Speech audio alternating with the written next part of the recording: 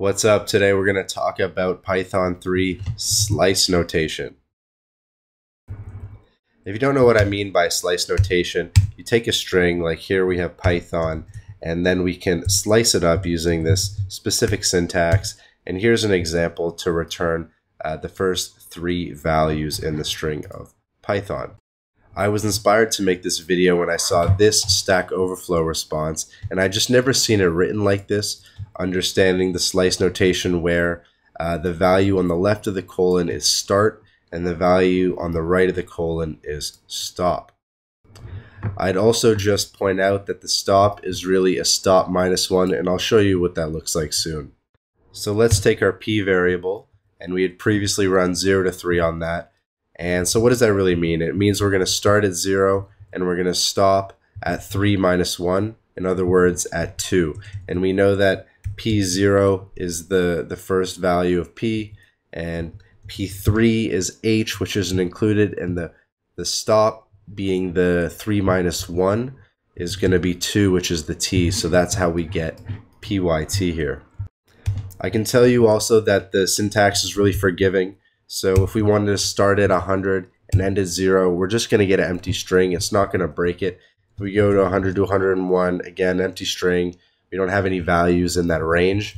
But if we say start at 0 and end at 101, we're going to get that full Python string because our uh, our string is only a length of 5 or, or 6 or whatever. Uh, I guess length of 5, but you know we need to put in a 6 to get the whole thing. And so it's just forgiving like that. You can put in whatever big number and you're going to get that string as long as, you know, your string's longer than that number. Another way in which Python syntax is forgiving is using the keyword none. And it returns Python because it treats this as sort of a none argument. So if we do none to 6, we get the full Python in the same way that if we did 0 to 6. And if we did, say, 0 to none, we'll get the full Python again. It basically just treats it as if it wasn't there. Um, so it's the same thing as if I did the zero colon or what was the other one we did? So we did none to six. So we did that. It's it's the same thing as that. If we did none to say three, it's the same as the zero to three that we started with in the first example. Now we should get into negative numbers. Uh, these are a little bit more difficult to conceptualize, but I'll just run it a bunch and we'll take a look. So negative 1 is the last value, second last value, negative 3 is the third last value.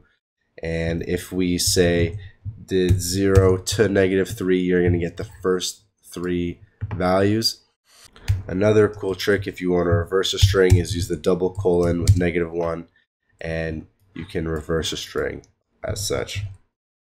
Another cool thing people don't talk about much is when you use a list instead of a string, so we're using Python like before, and you know, of course, the first digit is P, the last digit is the N, and we can use slice notation on a list in the same way as before, um, where you know we can get the the PYT.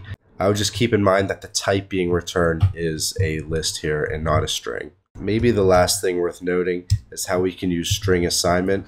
So we'll take our Python list and I think you know that uh, if you do uh, 0 equals z or z for my Canadian friends, uh, run that again, we'll get Zython. Um, but you can do the same thing just as well uh, with the slice notation.